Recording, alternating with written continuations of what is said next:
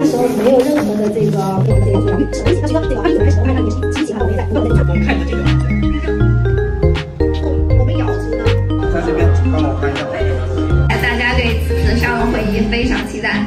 平均一平方，有一种个情况，它底层的区块链有多大？同时可以是消费者，呃，也是商家，也是推广者。无论你现在属于哪一个身份，都是知己知彼的。就它会如何发展？但是我相信，在未来的短视频这个行业里，一定会有今天的我和在座的。